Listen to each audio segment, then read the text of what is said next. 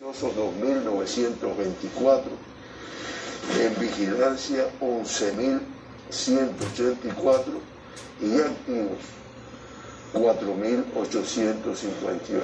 Cifra elevada, pero que al tener más altas que pacientes confirmados, pues en comparación con el día de ayer son 110 activos menos que los que teníamos en el día de ayer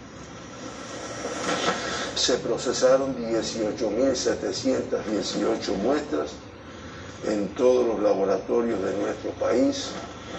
En Artemisa, que habíamos presentado un grupo de dificultades, después de, varios trabajos que se hicieron con los equipos allí, ya en horas de la madrugada se estaban procesando en su laboratorio del Mariel las muestras de, la, de la provincia de Artemisa y como resultado del estudio de las 18.718 muestras para el diagnóstico, se confirmaron 836 personas con la COVID-19. De esta forma, pues se acumulan 2.300.430 muestras procesadas para el diagnóstico y 46.197 personas diagnosticadas con la enfermedad. El porciento de muestras positivas, ustedes que se incrementa a 2,01%. El especial es la de la juventud, que es una inquietud de la población, teniendo en cuenta que las muestras hay que trasladar a La Habana. Pues se procesaron 609 en el día de ayer y como es natural el mayor por ciento en las provincias de La Habana, Santiago de Cuba, Matanza, Pinar del Río, Ciego de Ávila y así, como ustedes pueden ver ahí. Eh, y los casos diagnosticados, los 836 diagnosticados, 824 autóctonos, propios de la transmisión en nuestro territorio y dos importados. En el gráfico podemos verlo ahí, realmente el comportamiento desde hace más de un mes.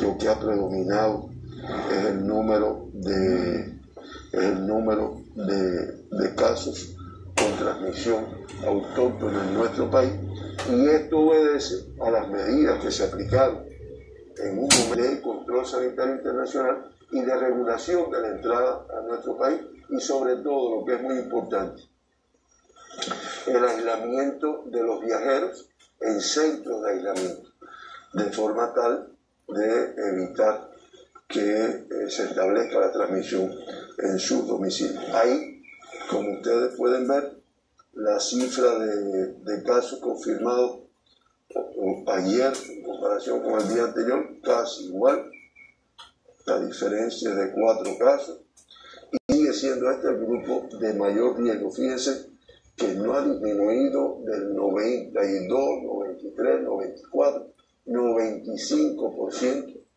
Y yo lo digo así, y, todos los días lo reitero, porque ese es el grupo de mayor riesgo que tenemos en el diagnóstico de la enfermedad. Ya con esto el 89,4% de todos los diagnosticados en Cuba pues han sido contactos de casos confirmados y eh, con fuente de infección en el extranjero, pues son 12, que como es natural, pues eh, son los 12 casos importados que tuvimos en el día de ayer. En el acumulado, el 10,07% tiene fuente de infección en el extranjero eh, y hay que decir que en el día de ayer 27 de los casos confirmados no se pudo precisar la fuente de infección. Cuando vemos lo que ha ocurrido, La Habana, igual que ha estado ocurriendo, 452. Mayabeque 87, Pinar del Río. Mayabeque una cifra muy elevada eh, en, cuanto a su, su tamaño, su número de población, lo cual traduce indiscutiblemente una complejidad eh, importante en este territorio, una transmisión muy importante.